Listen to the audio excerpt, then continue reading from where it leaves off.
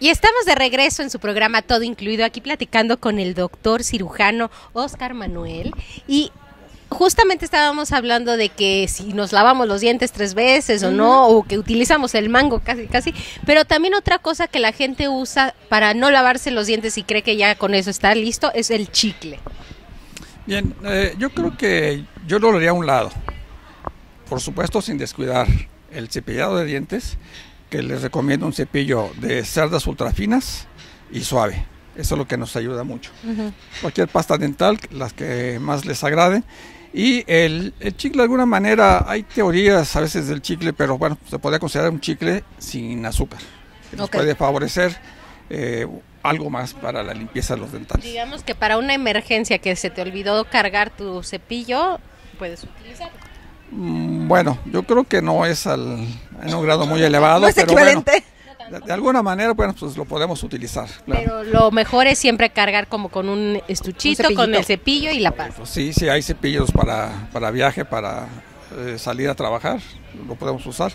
No es fácil porque la verdad los tiempos aquí en la ciudad andamos siempre en las carreras, no hay tiempo de nada, el tráfico, etcétera, etcétera. Pero bueno, un cepillado rápido. Eh, quizás en la noche sí le podemos dedicar más tiempo y no nada más con el cepillo, sino hacer lo que es el hilo dental, que es importante, hilo dental también eh, para lavarnos y enjuagues. No, y además es algo visual, ¿no? También, o sea, estás ni modo que ya en el trabajo tuviste tu hora de comida, regresas a la oficina y de repente aquí trae casi casi el frijol, ¿no? Dices, oye, por estética es mejor que de todos modos, acabando de comer, vayas y te laves los dientes. Es correcto, sí, o sea, hay que tratar de hacerlo en el transcurso del día, las, tanto después del desayuno como de la comida, pero en la noche especialmente, dedicarle mucho más tiempo. Oiga, doctor, a ver, entonces ya tenemos la caries, ¿no? o sea, ya se nos hizo ahí la cosita negra, café, lo que con del color que sea, en la muela, en el diente. Y ahora, ¿qué tenemos que hacer? O sea, ya una carie no es reversible. O sea, ya una vez que tenemos una carie, ya se nos arruinó el diente. Bueno, ya hay un problemita que se puede solucionar. También se marca teóricamente que tenemos que asistir al dentista cada seis meses aproximadamente. De ahí el dentista tiene la capacidad de analizar y checarle al paciente qué problemas tiene para solucionarlos. Entre más rápido acuda el dentista puede encontrarse con caries muy pequeñas que se pueden solucionar con restauraciones pequeñas.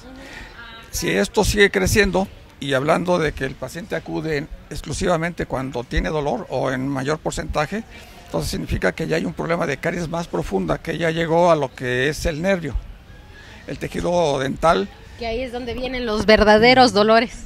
Aquí es donde ya viene el dolor. Puede ser un dolor, si el dolor eh, toman líquidos fríos y, en lo que lo pasan se quita, no está tan serio el problema.